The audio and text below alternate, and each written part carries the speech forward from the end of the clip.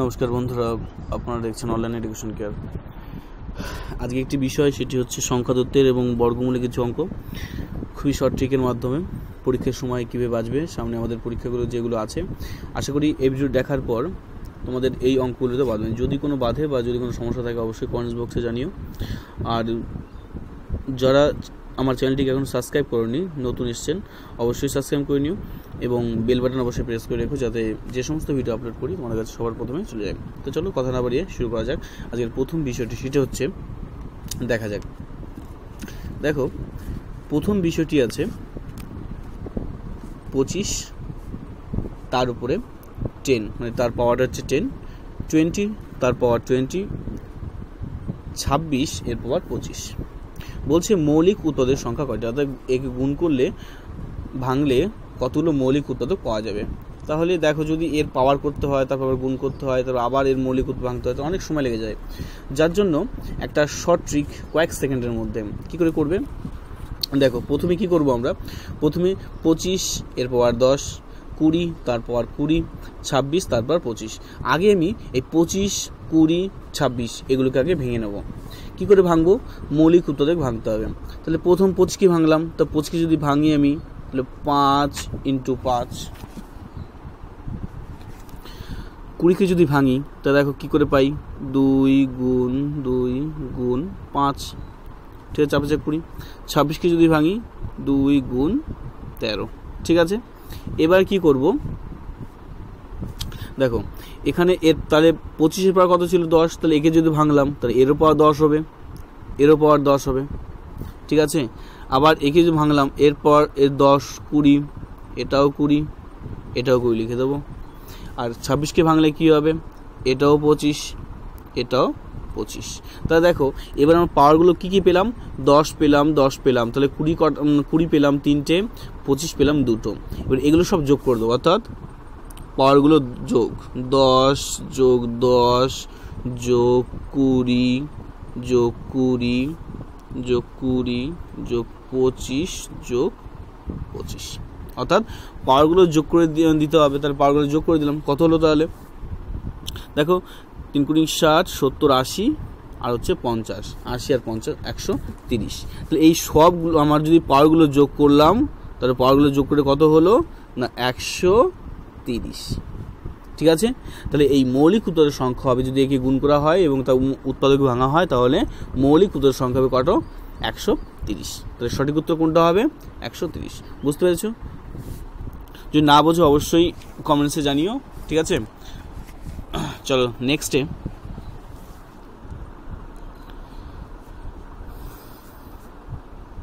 Next দেখো, ছত্রিশশো, ঠিক আছে? একই টাইপের অঙ্কগুলো বলছি, ছত্রিশশো। একে যদি মৌলিক উৎপাদকে ভাঙা হয়, তাহলে সংখ্যা, মৌলিক উৎপাদকের সংখ্যা কত হবে? ঠিক আছে?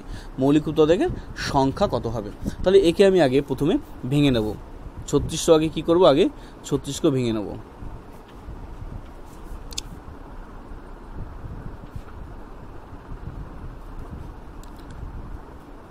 আঠেরোশো, নশো, পঁয়তাল্লিশশো, চার সরি চারশো পঞ্চাশ।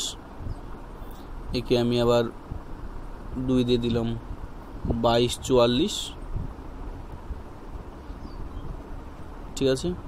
একে পাঁচ দিয়ে দিলাম পঁয়তাল্লিশ। এর পঁয়তাল্লিশকে যদি আবার ভাঙি কত হবে? নয়, এটা পাঁচ, ঠিক আছে? তিন তিন। তা দেখো, কি কি পেলাম? না, দুই পেলাম কটা মনে রাখো? দুই। পেলাম কটা? এক, দুই, তিন, চার। চারটে পেলাম। তার পাওয়ার দিলাম চার। গুণ। তিন পেলাম কটা দেখো? এক, দুই। তা তিন হচ্ছে দুটো। পাঁচ পেলাম কটা? পাঁচ পেলাম দেখো, এখানে একটা পাঁচ পেয়েছি আর এখানে একটা পাঁচ পেয়েছি। তাহলে কত হলো? পাঁচ, এরপর দুই।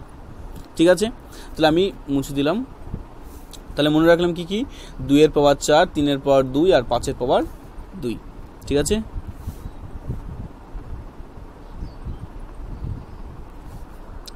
দুইয়ের পাওয়ার কত ছিল? চার গুণ তিনের পাওয়ার দুই আর পাঁচের পাওয়ার দুই। এবার কি করব? দেখো, এই যে পাওয়ারটা আছে, ঠিক আছে? এই পাওয়ারটা বসাবো, তার সঙ্গে এক যোগ করব, ঠিক আছে? ব্র্যাকেট আবার তারপরে কত আছে? দুই, এর সঙ্গে এক যোগ করো সবসময় একই নিয়ম। তারপরে ব্র্যাকেট দিলাম। আবার কত আছে? লাস্টে দুই যোগ এক। ঠিক আছে? এবার কি করবে? এগুলো সব যোগ করে দেবো। তাহলে এটা কত হবে? পাঁচ। এটা যোগ করলে তিন, এটা যোগ করলে তিন। এইবার এটা গুণ করলে কত হবে? যেটা গুণ করলে যেটা হবে সেটাই অর্থাৎ তিন ত্রিকে নয়, পাঁচ নং পঁয়তাল্লিশ। তাহলে উত্তর হবে এই পঁয়তাল্লিশ। তাহলে ছত্রিশশোকে যদি ভাঙা হয়, তাহলে উত্তরের সংখ্যাটা হবে পঁয়তাল্লিশটি। ঠিক আছে? আশা করি বুঝতে পেরেছ? নেক্সট নেক্সটে দেখো রুট দিয়ে কিছু অঙ্ক আছে। বলছি এর মধ্যে বৃহত্তম সংখ্যা কত? তাহলে এটা প্রথমে আমাদের কি করতে হবে দেখো, প্রথমে আমাদের যেহেতু রুট আছে, আমার রুট ঝামেলাটাকে তুলে দিতে হবে। তার জন্য কী করতে হবে? রুট যদি কোনো কিছু তুলতে হয়, তাহলে সেই সঙ্গে কী করতে হবে? সেই সঙ্গে স্কোয়ার করলে রুট উঠে যায়। তা আমি কী করব? সবার সবার স্কোয়ার করে দেবো। তো দেখো, প্রথম কত আছে? টু রুট টু এর স্কোয়ার করলাম, তাহলে টু রুট টু এর যদি স্কোয়ার করি, ঠিক আছে? তাহলে কত হবে? এই স্কোয়ার করলে হবে চার, আর দুই রুট টু উঠে গেল, তাহলে কত হলো? আট হলো, ঠিক আছে? নেক্সট দেখো সাত আছে। সাতের স্কোয়ার দিয়ে দিলাম। তাহলে কত হলো? এটা সাত হলো। নেক্সটে আছে কত? Two root three. এটা কত হবে? বারো হবে। দুই দুই চার আর তিন তিন চারই বারো হবে। আর কত আছে? Root five. রুট ফাইভকে করলে কত হবে? পাঁচ হবে। তো দেখো, এর মধ্যে সব থেকে বড় কোনটা আছে? তো সব থেকে বড় কোনটা আছে দেখো? এটা পাঁচ, এটা বারো, এটা সাত, এটা আট। তো দেখতে পাচ্ছ সব থেকে বড় কত কত আছে? বারো। বারো মানে কত? Two root three. তো উত্তরটা কত হবে? উত্তর সি টু রুট থ্রি। ঠিক আছে? তোমরা এইভাবে এই অঙ্কগুলো করতে পারবে। যদি রুট থাকে, তাহলে রুটগুলো উঠিয়ে দেবে এবং তারপরে দেখবে এর মধ্যে বড় কোনটা। যদি ছোট বলে, তাহলে কোনটা হতো? তাহলে রুট ফাইভ ছোট হতো। ঠিক আছে? তাহলে রুট ওই ফাইভ হতো ছোট। ঠিক আছে? নেক্সট। দেখো, বলছে এই অঙ্কগুলো আমরা প্রায়শই হয় না। হ্যাঁ? তো কি করে করি? একটা অন্য নিয়ম আছে, কিন্তু আমার কাছে একটা নিয়ম আছে আলাদা নিয়ম যেটা দেখো অবশ্যই ভালো লাগবে, তিনটে সংখ্যার মধ্যে। দুটো সংখ্যা থাকলে আলাদা একটা নিয়ম ছিল কিন্তু তিনটে সংখ্যা তো, তার জন্য মানে আলাদা একটা নিয়ম, খুব সুন্দর নিয়মটা। কি বলছে? তিনজন পুরুষ বা চারজন মহিলা বা ছয়জন বালক। হুম, একটি কাজ পঁচিশ দিনে করতে পারে। তাহলে দুজন পুরুষ, তিনজন মহিলা এবং চারজন বালক একসঙ্গে কতজন, কতদিনে করবে? ঠিক আছে, কি বলছে? একসঙ্গে কতজনে করবে?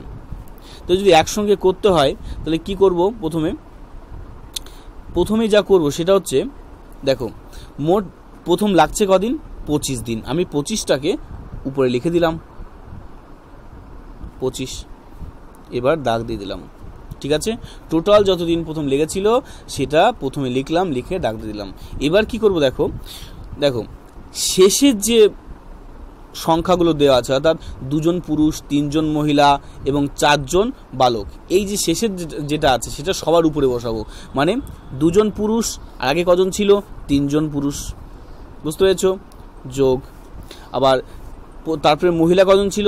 তিনজন মহিলা। আগে ছিল কজন? চারজন। ঠিক আছে? নেক্সটে কত আছে? আগে ছিল কজন বালক? চারজন বালক। এখন আছে কজ আগে কত ছিল? ছজন। ঠিক আছে? এবারে আমি কি করব? এই লসক করে দেবো। তাহলে লসক হচ্ছে বারো। তাহলে এটা হচ্ছে চার। তিন চারি বারো, চার চার দুগুণে আট হলো এটা। এটা তিন চারি বারো, তিন থেকে নয় হলো এটা। ছয় দুগুণে বারো, চার দুগুণে আট হলো এটা। তো দেখো, যোগ করে কত হচ্ছে? আট আট ষোলো আর হচ্ছে পাঁচ, আর নয়। কত হচ্ছে? তাহলে পঁচিশ। তাহলে আমি প্রথমে কি, কত ছিল আমার উপরে? পঁচিশ তার উপরে লিখছি হ্যাঁ? তাহলে এই যে পঁচিশ, এর নিচে ছিল কত? না যোগ করে হলো পঁচিশ আর নিচে ছিল কত? বারো।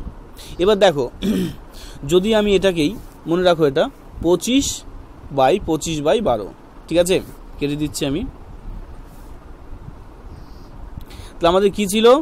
না, উপর ছিল পঁচিশ, মোট সংখ্যা, আর যোগ করে কত হয়েছিল? পঁচিশ বাই বারো। এবার কি করব আমি? উল্টে দেবো। অর্থাৎ এই পঁচিশ আমি যদি উল্টে দিই, তাহলে আমি কী পাবো? এই পঁচিশের এটা উল্টে যায়, ঠিক আছে? নিচেরটা উল্টে যায়। নিচে কত ছিল? নিচে ছিল বারো, তাহলে এটা কোথায় চলে যাবে? এটা চলে উপরে। আর নিচে ছিল কত? উপর ছিল কত? পঁচিশ। এটা নিচে চলে আসবে। ঠিক আছে? এটা কেটে দিলাম। তাহলে কত হলো? বুঝতে পেরেছ? এটাকেই উল্টে দিলাম। তাহলে এই পঁচিশ আর এই পঁচিশ কেটে গেল। থাকলে কত? তাহলে বারো। তাহলে এই একসঙ্গে কদিনে করবে? না, বারো দিনে করবে। উত্তর আশা করি ভিডিওটি ভালো লেগেছে। যদি ভিডিওটি ভালো লাগে, অবশ্যই লাইক করো, বন্ধু শেয়ার করো এবং কমেন্টস করতে অবশ্যই ভুলো না এবং সাবস্ক্রাইব চ্যানেলটিকে ঠিক আছে? যদি তোমাদের কোনো উপকারে আসে বা যদি কোনো তোমাদের কোনো উপকার করতে পারলাম, এর জন্য অবশ্যই তোমরা সাবস্ক্রাইব করো এবং বন্ধুদের সঙ্গে অবশ্যই শেয়ার করো। ঠিক আছে, বন্ধুরা? ধন্যবাদ।